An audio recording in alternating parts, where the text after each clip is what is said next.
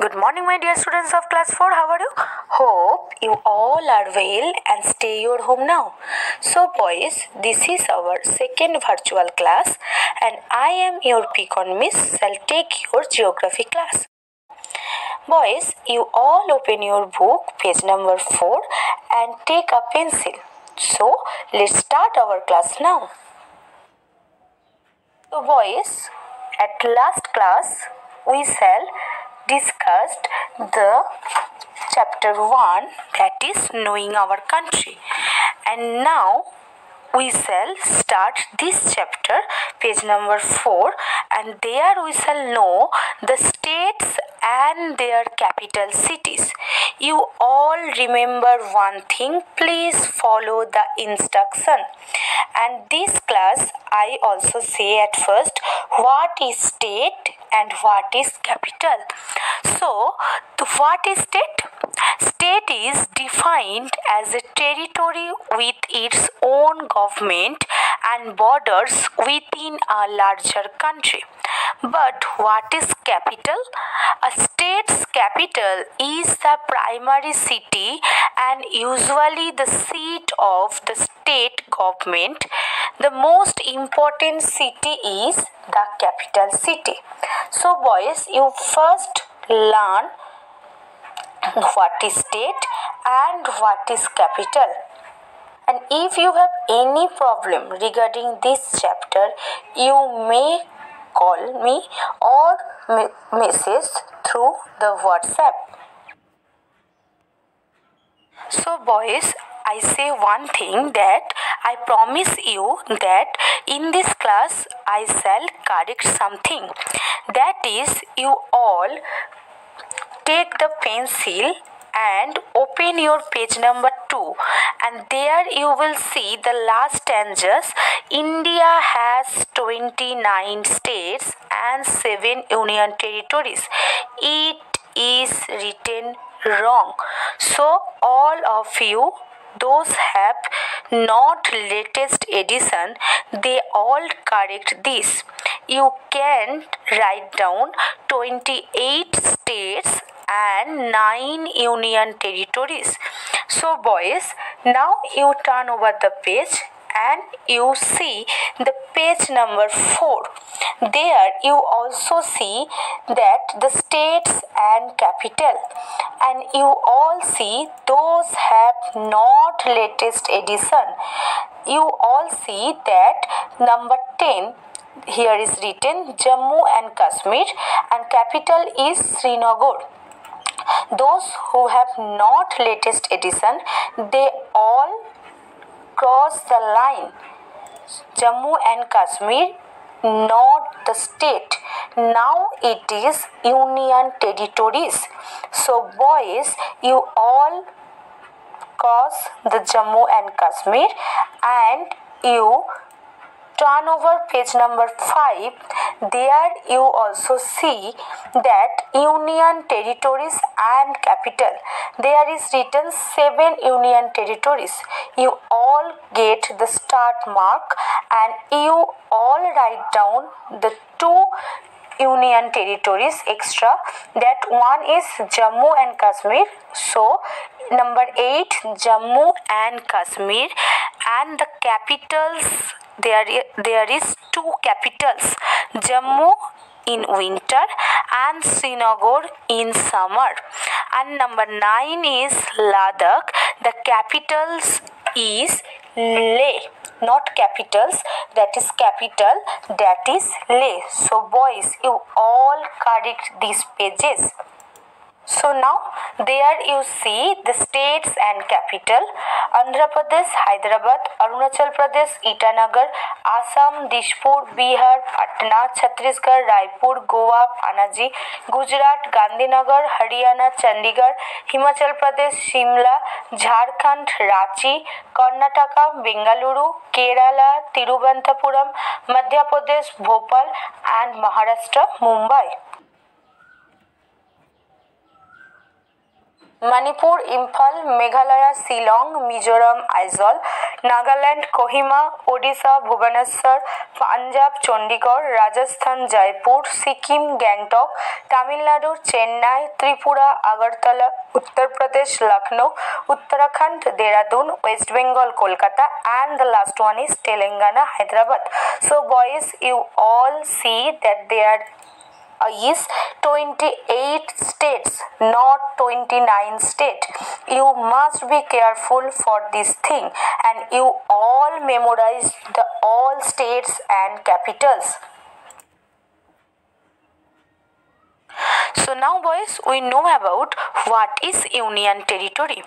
A union territory is a type of administrative division in the Republic of India.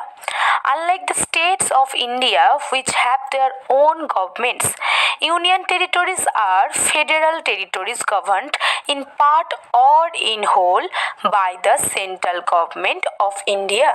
And you can also see the map in this page there you can see at first Jammu and Kashmir that is written by J and K then Ladakh next Chandigarh then Delhi next two that one is Daman and Diu and other one Dadra and Nagar Haveli and next Lakshadweep Puducherry and Andaman and Nicobar. So boys, these are the union territories of India.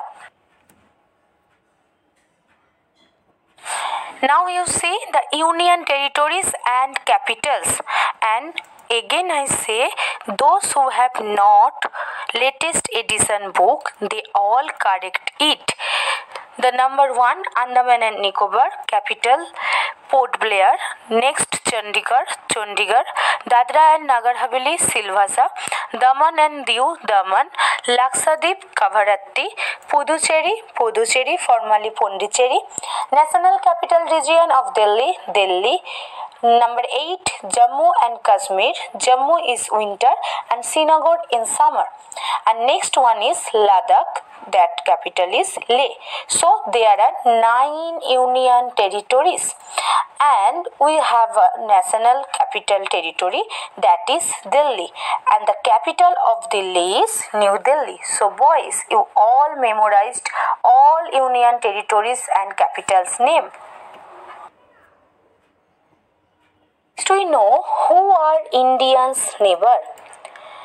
Pakistan, Afghanistan, Nepal, China, Bhutan, Myanmar and Bangladesh are India's neighbors along with the island countries of Sri Lanka and Maldives. The name India has been derived from the river Indus. So, boys, you all remember one thing that is the Indian neighboring countries. The name of the Indian neighboring countries, and you can see the map there. You see Pakistan, China, Nepal, Bhutan, Bangladesh, Sri Lanka, Maldives, Afghanistan. These are our neighboring countries and one thing you can know that is island countries island country mean a country that is made up of one or more islands. So Sri Lanka and Maldives are island countries. And next one, the name India has been derived from the river Indus. So it is also memorized that the name India has been derived from the river Indus. A new word that is SAARC. So, what is SAARC? The full form of the SAARC is the South Asian Association for Regional Cooperation. It is the regional intergovernmental organization and geopolitical union of states in South Asia. And India and her neighboring countries Pakistan, Bhutan, Nepal, Afghanistan, Bangladesh, Sri Lanka, and Maldives formed the South Asian Association for Regional Cooperation on 8 December 1985. So, boys, you all memorized that the South Asian Association for Regional Cooperation is the full form of SAARC and SAARC formed on 8 December 1985 and you all see in this page the logo of the SAARC and the countries also that is a symbolic so SAARC is the Association for Regional Cooperation. You all memorize the spelling also. Now we know about the countries and capitals. And you turn over the page 6 and you can see the table in your book that is countries, capital and official language. So number 1 Bhutan capital is Thimphu and the official language is Dzongkha. Not D Dzongkha.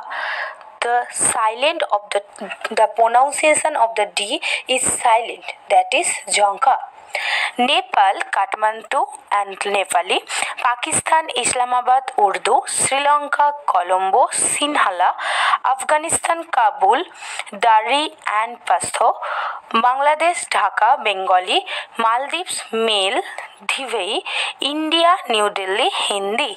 So boys, all remember this country's capital and official languages name. We know the SAARC nations decided that they would concentrate on programs based on mutual cooperation which would contribute towards the development of the South Asian region. Some of these programs are science and technology and meteorology, agriculture and rural development, transport, projects concerning health and population, environment and forestry, women, youth and children, human resource development. So these are the programs of the SAARC. For this reason, SAARC formed. Next one, along with this, they also concentrate on the development of information and communications technology, tourism, and energy. So, boys, all of you remember one things why did the SAARC form? These points are included here. Now we know about one thing that is new term unity in diversity. We all know India is a secular country. So unity in diversity means that although in our country we speak different languages, believe in different religions and have different culture and food habits, we are united as one nation. So we all know India is one country that have different languages and the different religions people live in. We have Hindu, Muslims, Sikh, Jains, so many types of religions and their cultures also different. Their food habits also different. So unity in diversity means uh, that although in our country we speak different languages believe in different religions and have different culture and food habits also we have many national symbols which bind us together. They represent our country and every Indian is proud of them. One major uniting, uniting force is our national anthem which was written by Rabindranath Tagore and we all know our national anthem is Jana Gana Mana that is wrote, that was written by Rabindranath Tagore. We know about the national flag of our country. So the national flag has three colors saffron, white and green. It has a navy blue wheel with 24 spokes placed at the center of the white strip. The saffron stripe is at the top of the flag and it stands for great bravery or courage and sacrifice. The white strip stands for truth and purity. The dark green strip stands for faith and fertility. The navy blue wheel represents the Dharma Chakra or the wheel of law.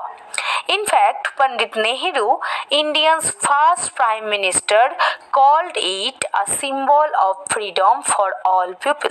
So, boys, you all listen one thing that you all memorize the color. What does it stand for and what is the represent for blue wheel. So that is your national flag